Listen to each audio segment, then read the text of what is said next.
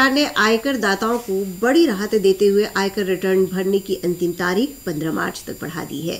सरकार ने मार्च 2021 को समाप्त हुए वित्तीय वर्ष के लिए आयकर रिटर्न भरने की अंतिम तारीख 15 मार्च 2022 कर दी है।